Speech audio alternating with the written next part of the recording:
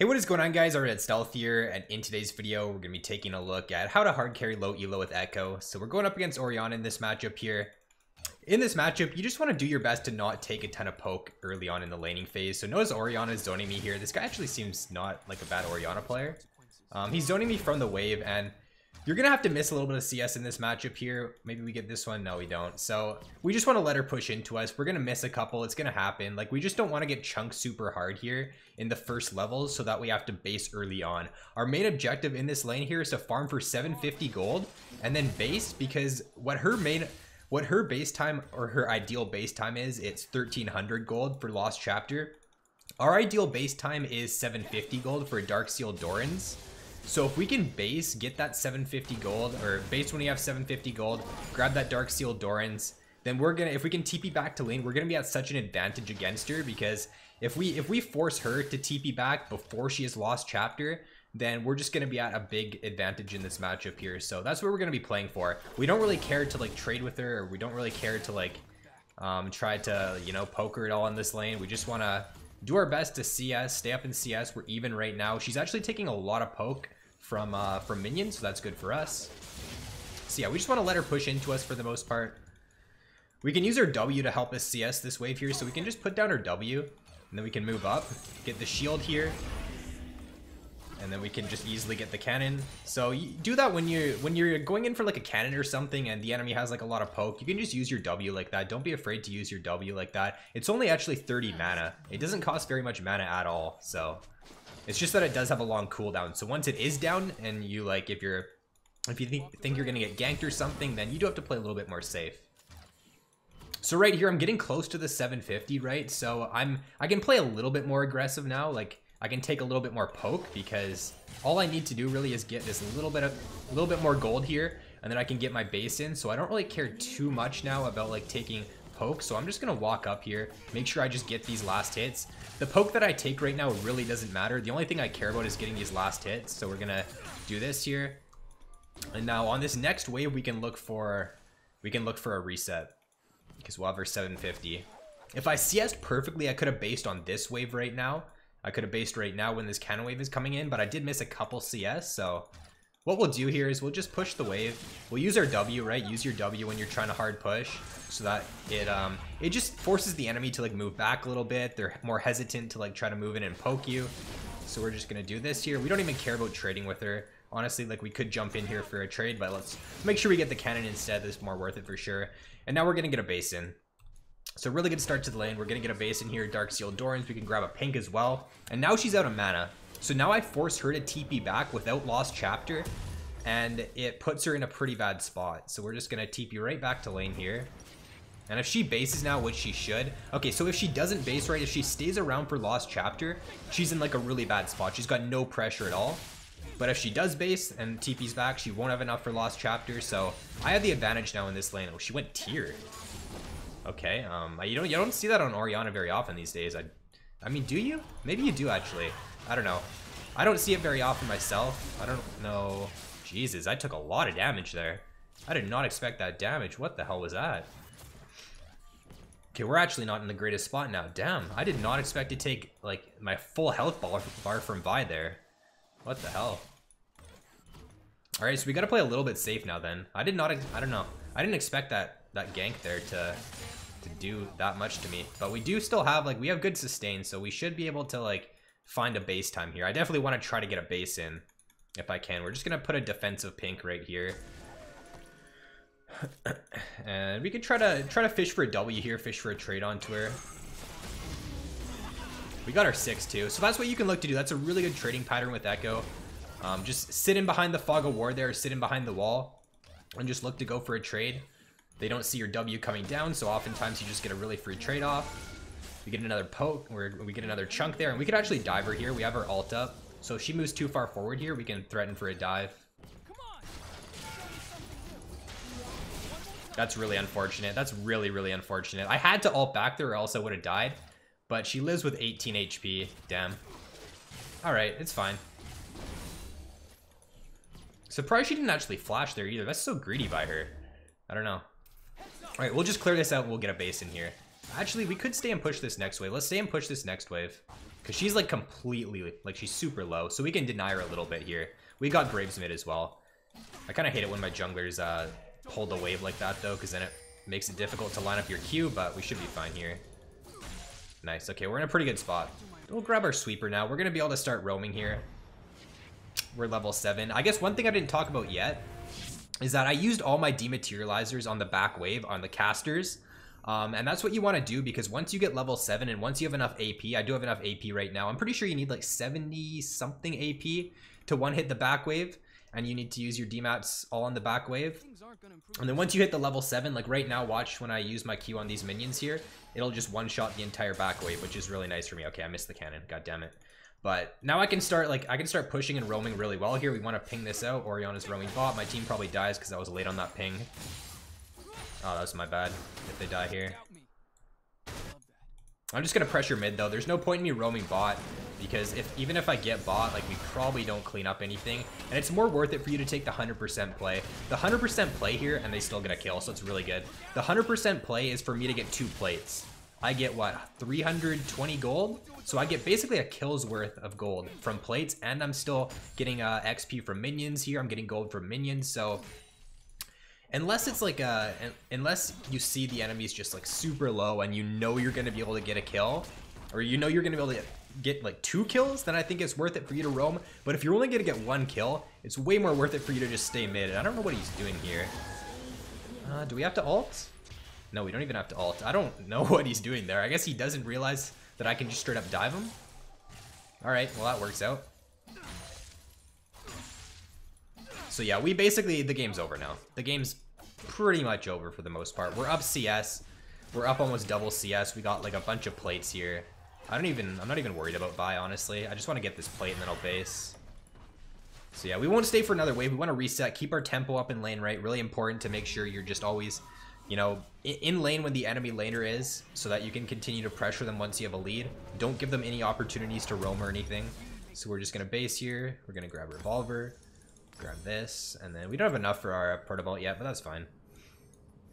And we'll start heading back to lane now. We shouldn't miss. We might miss, uh, we'll miss like a couple minions here from this wave.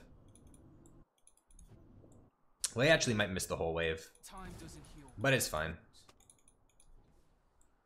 We got Graves on Dragon there. So yeah, we missed like, what, four minions there of XP? Well, we're so far ahead in this lane right now that it doesn't really matter too much. Okay, Ori's roaming top now. Okay, these roams are really, really odd from Ori. I'm not pinging them out because I'm not really expecting them, honestly. Like, for her to roam here is, like, not a great play because I'm like her mid tower is super low now. I can just take plates and take this tower. So it doesn't really like it's not even really worth it. They get a kill, right? But it's it's not even really worth it for her. Like I'm just getting a lot of uh I'm getting a lot of value out of staying mid here. I've gotten every single plate in the game right. Plates are worth so much. People really don't uh, I guess understand how much plates are worth. Like I think I've gotten at least like 600 gold maybe from plates this game. And I can just dive her again here if she stays. I can zone her from this entire wave. Uh, damn, she's got, ah, I hate Nimbus Cloak, man. It's so annoying. Maybe, like, I'm trying to think here. If I would have flashed, I don't, I don't think I would have got it if I flashed. Because if I flash, I get one auto. One auto isn't enough to kill her, and then she's got the Nimbus Cloak move speed, so I don't think, I think I just int there. I think I just waste my flash if I try to go for that. All right, we got the tower, though. Really, really good. We're going to roam towards bot now. We should be able to get a kill on Caitlyn bot here if she stays.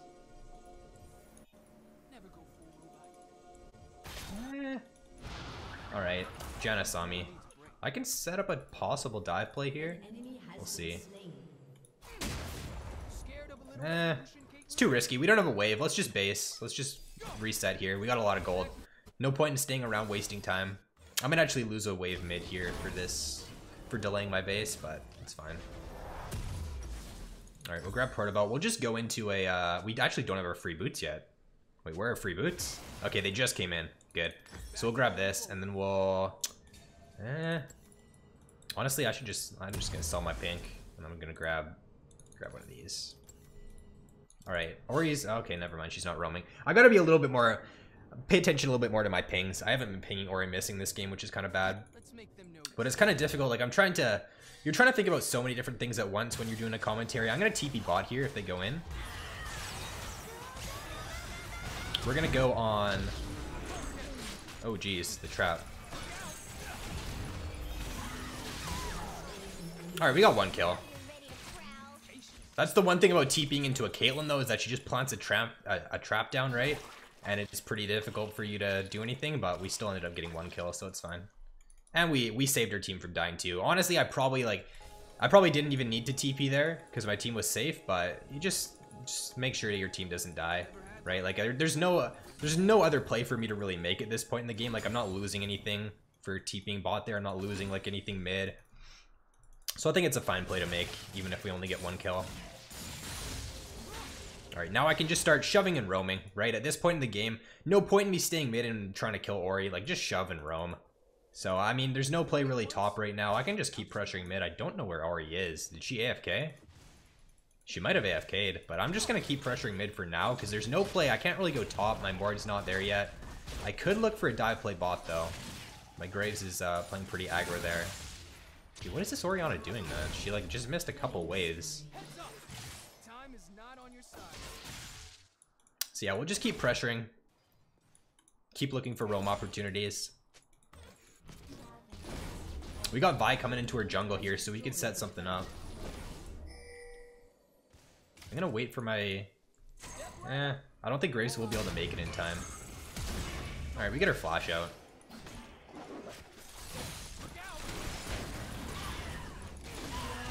Are you kidding, man? They keep lit. they. Oh my god. This Ori lived with like 2 HP. This Vi lived with like 2 HP.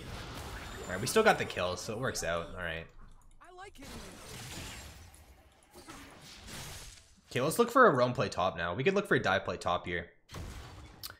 If I can just get a stun on Renekton, I'm fine. Um, even though I'm pretty low right now, if I stun him and if I just chunk him enough for Mord to finish him off, I think it's fine. So let's just see. If I don't get the stun, we don't go in, but if I do, we, we go in.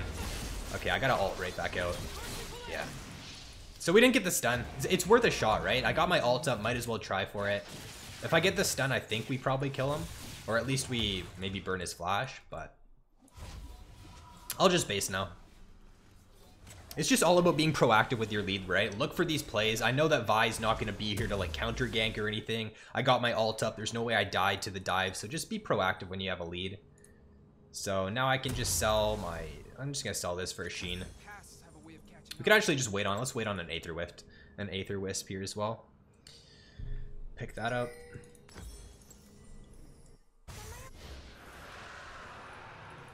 And yeah, everybody's honestly doing pretty well this game. Like, even if I were to not do too well, we just have the winning bot lane, which is really good. So, we probably would have won this game even if I didn't uh, destroy lane, but...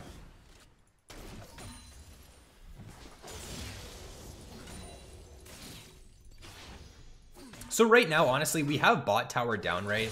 The better play here is for our bot lane to, like, rotate and go for Herald. And, uh, just play on the play on mid to top side. Like, them being bought right here is just inting. Like, there's just no reason for them to be bought. Like, you already got bot tower down. Go top, take top tower, go go for a Herald. Like, this is just a, a macro play that I guess in this Elo players struggle to, or they just don't realize that they can, they should be making it.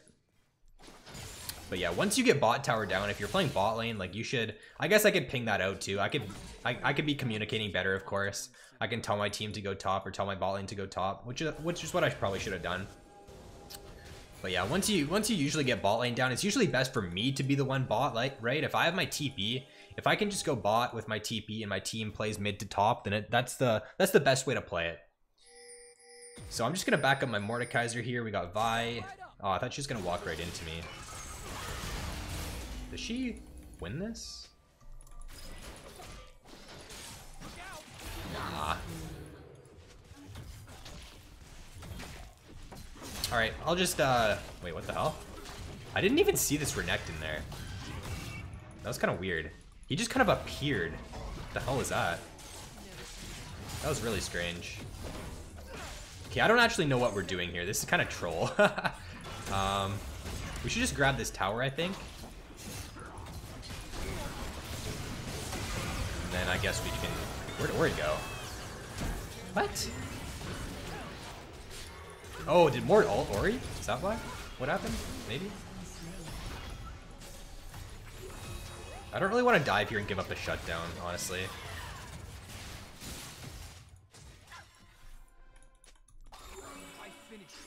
I guess we can keep pressuring, though. We should be able to get this tower. Honestly, this is a bad play if we get inhib at this point in the game. Uh, not good. Not not good to take this early. Yeah, it's not good to take inhib this early because we're just losing XP. We're just losing farm. Like, we're ahead so far. It's just a bad macro play to take inhib at 17 minutes. Um, if we if we were bot side, I think it's it's fine because we could pressure for Baron with the inhib down bot.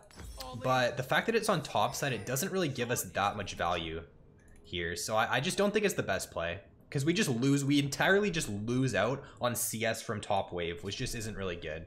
And we just give the enemy team just free farm. Um, I think he's dead. I'm not going to TP here. Yeah, I'm not going to TP into that. I could just get chain CC'd and not just have to alt out. So instead, let's just look for a flank play here. We'll just look for something. Uh, I'm dead. What the hell was that chain CC? Jesus Christ. Like, did I get... Did I get rooted? I got Vi ulted, Renekton stunned, I guess. Uh, okay, that's really troll. Damn, I shouldn't have even went in there. But at the same time, I don't know why we're pushing up mid like this. Ah, oh, it's, it's my bad, man. It's my bad. I shouldn't have even gone in there. I should just look to split bot. So yeah, that's just a... Honestly, like, I thought I could get in there and, like, chunk somebody and get out, but I guess I didn't... Okay, they have Vial, Renekton stun, Cait Trap. Like, they have just a lot of chain CC, so... I have to, uh, I have to take that into account for, for the next couple fights here. Dragon's up in 50. We just play for this. Just play for Dragon. Don't even uh don't even go for this. Just play Dragon. We get a pick at Dragon here. Like this is this is how you want to be playing Ekko mid game, right? Always be trying to get to objectives before they spawn, like 40 seconds at least, and look for a pick. So we got Janna coming in for a face check here. We should get a free kill on Janna.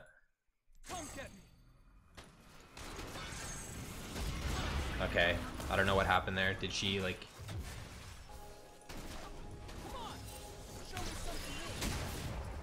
Ah, see, if I was there a little bit quicker, right? If I was just there five seconds earlier, we got a kill on Janna because I would have been sitting in this bush and I would have uh, just got a pick on her. So that's it's just all about being like with Ekko. It's so important to be at an objective before it spawns, like a little bit before it spawns. Like try to be there 45 seconds, set up vision, sweep around, and just get a pick when they have their support like face checking you. Like right here, we should just be sitting in this bush. Honestly, I don't know. I mean, I guess I'm just zoning for the dragon. We can just do the dragon, it's fine. Alright, that's pretty free. I just want to play this slow here. I don't want to get chain CC'd again.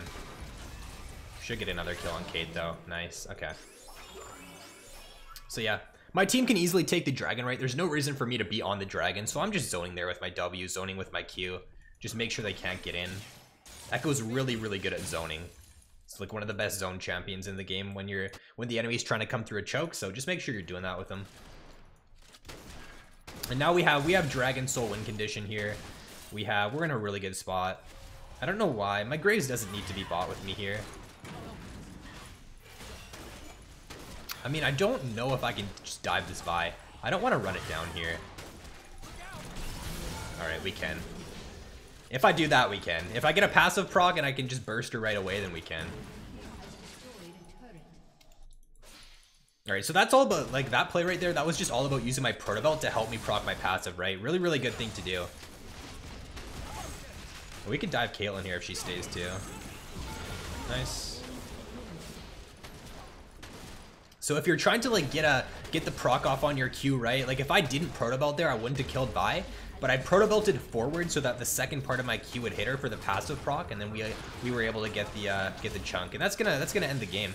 So it's a pretty solid game, honestly. I think we played, you know, we played to our objective in the early game, right? Played for our uh, Dark Seal Doran spike. We came back to lane. We had really good pressure on Orianna. So hopefully you guys did enjoy this video. Hopefully you learned something from it. If you did, then be sure to drop a like, subscribe if you haven't already. So thanks for watching, guys, and I'll see you in the next one.